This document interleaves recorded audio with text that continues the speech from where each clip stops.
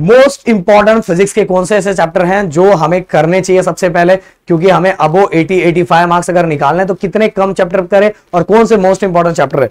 तो भाई, अगर मैं बताऊँ कि अगर आपको करना है तो सबसे पहले आपको फिजिक्स वन पे ज़्यादा ध्यान देना चाहिए।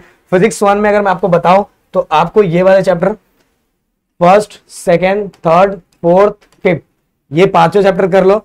देन इसके बाद अगर मैं फिजिक्स टू की बात करूँ, अगर आपको टेंशन आता है तो सेमीकंडक्टर सेमीकंडक्टर के बाद structure of atoms and nuclei कर सकते हो देन मैग्नेटिक मटेरियल कर सकते हो, और थोड़ा बहुत अगर आप ट्राई करोगे तो करंट इलेक्ट्रिसिटी कर सकते हो। अगर इतने चैप्टर आपने अच्छे से कर लिया तो भाई अबो 85 मार्क्स आराम से स्कोर कर लोगे हाँ पर जितने चैप्टर उसके सब चीज़ें करनी पड़ेगी। अगर जो बाकी चैप्टर बच रहा है तो उसका बस क्या कर लो पता है?